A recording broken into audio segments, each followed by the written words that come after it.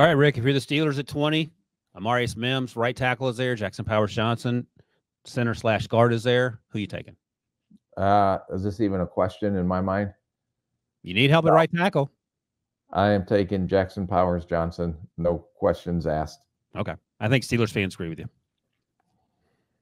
Even though Bro- even though you admitted, I believe Amarius Mims is better coming out than Broderick Jones when he's healthy. No, I don't know that. All right. You're guessing. Yeah, we're all let's be real. We're all guessing. I know, but you're really guessing when a guy's not on the field that much. All right, someone who is on the field and someone who you tried to kill on set, even though Steelers fans desperately want him in Pittsburgh, Jackson Powers Johnson. Uh, great football player, even funnier in person, making fun of Rick. That was uh, a nice change of pace. You two warmed up with each other. I think that was your one of your favorite interviews or your favorite interview. One, one of my favorites of all time. Okay, yeah, he was great. If you haven't Skechers. seen, if you haven't seen it, you can go watch it on YouTube. It is uh, the whole interview is great, even though at the end he does give Rick a hard time about his drip. I had to call my sons and ask what the is that a good thing or bad thing when he said he liked my drip. Oh man, unbelievable! All right, Jackson. I'm all dripped out. you are all dripped out indeed. What's your comp for Jackson Powers Johnson? We've talked him to death. Let's start there. Creed Humphrey. Oh man, you can't see that it says Creed Humphrey. Yeah. Okay. That's a bad sign for you, buddy. Yeah. All right. Let's talk about this. How high can JPJ get drafted? Let's start here at 14. The Saints? Saints. No. Seattle is 16, 100%, I feel like. Yes. Yes. Okay. So 16 is the highest. Um, I don't, I mean, he doesn't get past Dallas at 24. No. Unless No. there's a unless there's a, a tackle or someone, a left tackle they love that happens to be there. No. By the way, in our mock draft that we did for CBS Sports Network that now you can watch on the YouTube channel at NFL on CBS, Rick and I swung a deal. Cowboys traded up from 24 to 13 to get Olu Fashanu. That actually feels sort of realistic. Maybe. But they've been pretty conservative this offseason so far. Yeah, they haven't done anything. Maybe that's what Jerry was holding out for. He said they were going to go crazy, and he meant on draft night. We'll see. All right. Creed Humphrey. That's a slam dunk comp, Rick. Way to go. Next up, Troy Fautanu, who plays left tackle at Washington, doesn't wear knee pads, has shorts on, essentially. Rick has docked him a half a round grade because of it. Volleyball player coming out of high school. He's a good athlete. Really good athlete. Is he good enough to play tackle in the NFL? I think some teams will look at him at left tackle until he proves wrong. You Yeah. know, may not be the ideal length uh, or arm length, but I think, you know, neither was Bakhtiari when he came out and ended up being a Pro Bowl left tackle for the Green Bay Packers.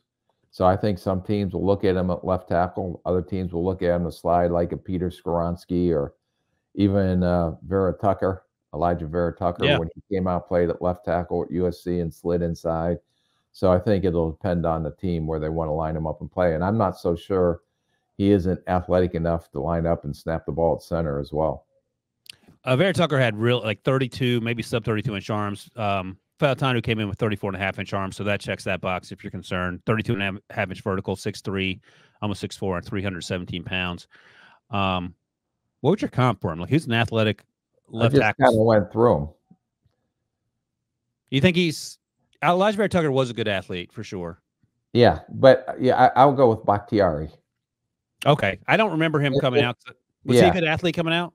He was a good athlete. He had short arms, and everybody was projecting him inside a guard. And he was a nasty football player in a positive way. Yeah. Okay. All right. So let's let's go through the drill here.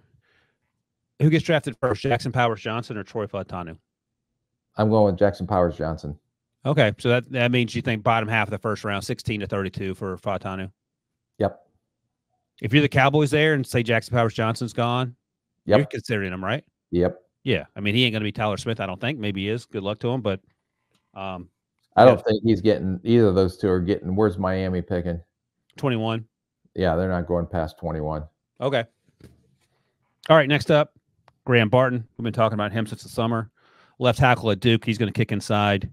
I'm going to give you my comp, and then you can run with it after you give me a high five. Uh, I think he's going to take the Zion Johnson path out of BC.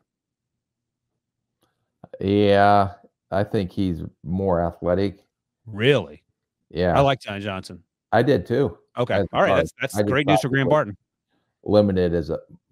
I think this kid was more functional at left tackle than when I did Zion Johnson when he came out because he was Okay. I'll give you that. projected inside the or senior year or the year before he came out was in a guard, but I watched him at a left tackle. And he was much better a guard. This kid was functioning as a left tackle, although I don't think you know I think he'll have his struggles at left tackle.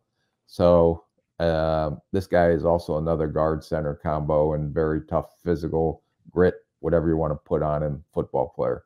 How do you look at a tackle um, in college and say, okay, that guy has to move inside, and not not only move inside, but how, you have a sense that he might be successful inside.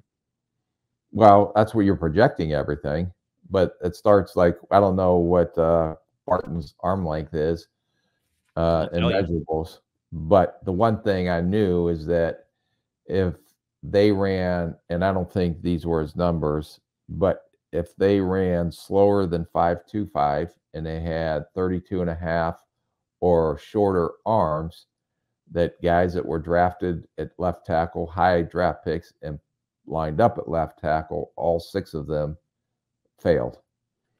All right, 32 and 7 eighths inch arms. He's going right up against it. So you have to be special to have sub 33 inch arms and play tackle tackle. Yep. from, from Jump Street. All right. So there you go. And in your, you know, years of eyeballing these guys for 30 plus years, you you can get a sense if they have shortish arms based on the way they play, I would imagine, without knowing. Yeah. Yeah. Yeah. I mean, you can see it like if a defensive end is has his one arm in his chest and he's trying to lock out and they go only to the guy's elbow, then you know he has short arms.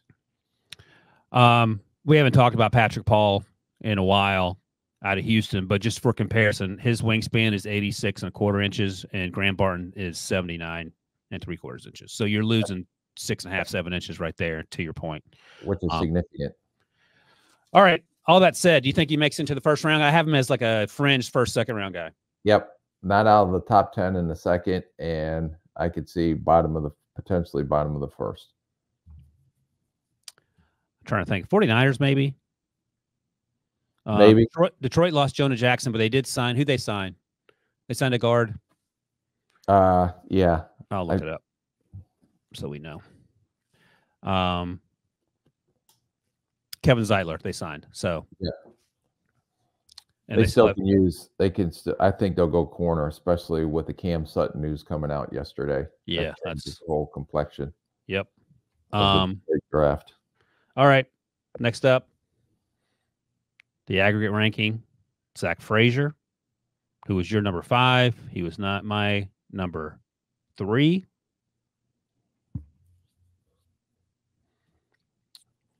West Virginia center. We haven't talked a lot about him. He's a good player. I think I like him a little more than you. We've talked about him briefly. Are you? Have you changed your tune on him? Are you? No, do I, I liked him as a football player. I think he's smart. I think he's probably a center only. That's the only issue I had with him, a one position guy. okay. uh, four-time state wrestling champion. I think he only lost two matches his entire life. I heard an interview with him and said a couple of times guys just came out, shook his hand, and just forfeited because they didn't want to go against him in high school in the on the mat. Um, so uh, great start when those guys, especially at center, have that wrestling background because they know leverage. They have strong hands. I think that he played better as a junior than a senior. I know he's coming off a broken leg, I believe, in November that he got hurt.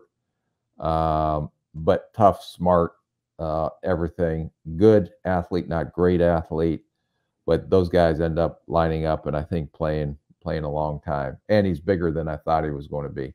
That's the thing. I was just looking up some guys from last year. Uh, John Michael Schmitt, who was drafted by the Giants, you liked a lot, was six three and a half, 301. Also a wrestler. Joe Tippmann, who was drafted by the Jets out of Wisconsin. He's enormous at 6'6, 313. But when you look at Zach Frazier, he's six two and a half, 313. And What he's, was he's what a was Avila? build than uh, your typical center. Avila, what was he last year? Steve. I'm- Say that again. Steve Avila. Oh, let's see what Steve Avila was. He was thick. Yeah, He because I played was guard last year for, uh, but he may move inside for that Rams. was kind of I was looking at. Steve Avila. Oh boy, 6'3", 30 332. Now that's a grown man. Yeah, not as thick as Steve.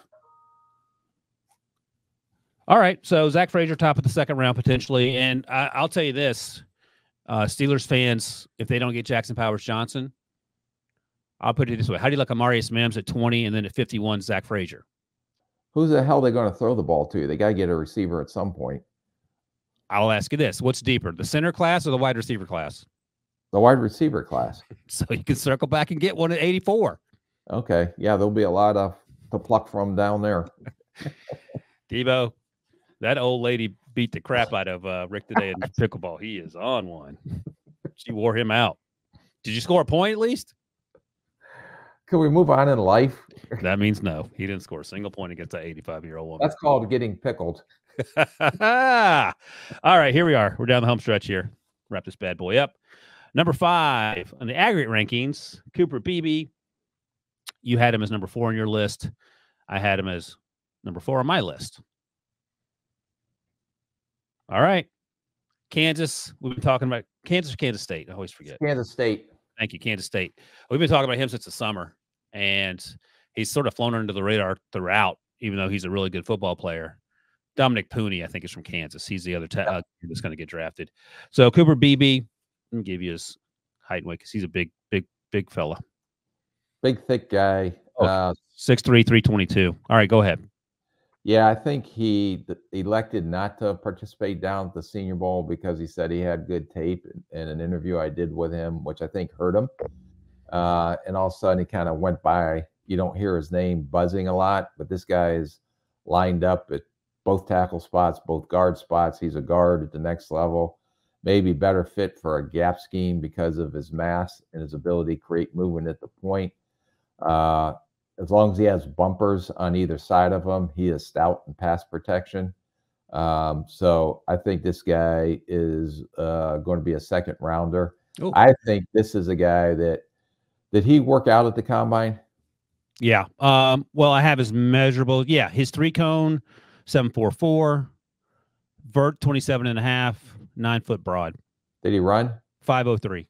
Okay, that's good. So Yeah, he that's did moving. participate at the combine. So that'll put him back on. But I think he would have helped himself also down there at the uh, Senior Bowl as well. Just to, uh, but I think he's a solid second round pick. Um, now, if he was in the second round, and I'm just saying Detroit was there, I think he's one of those Detroit type gritty football players that they like to take. Um, and I think he's going to be a starting guard in the league uh, for a long time. So Detroit picks 61 at the bottom of the second, and then they pick 73 at the top of the third. So that might be the range if you're looking for a Cooper Beebe, it feels like. One other name I'll mention before we get out of here, who I like a lot, Christian Haynes, the uh, Yep. guard, potentially slash center from UConn. There's a guy that really helped himself Yeah. because he went down to the Senior Bowl and performed. Then he did combine. Who was your? I had uh, just for my comp, just to um, for Cooper Beebe was Will Hernandez when he came out of Texas Tech. That's that's a better one than mine. I had um, James Daniels. James Daniels a little lighter than Cooper. Okay, I think or Texas El was it Texas El Paso? Who'd you say again? Will Will Hernandez. Oh yeah, let me see. I think it was Texas El Paso. Went to the uh, Giants, right? Yep, you got it. UTEP. Yeah, you saved yourself there from some angry comments directed at me. By the way, Christian Haynes was a guy who we and we talked to Braiden Fiske about this, who got into it with uh, Jordan Jefferson at LSU uh, when he ripped his helmet off at the Senior Bowl practices and, and chucked it to the sidelines, which was uh, Christian didn't back down, and, and Fiske made that point, and and that's how he plays.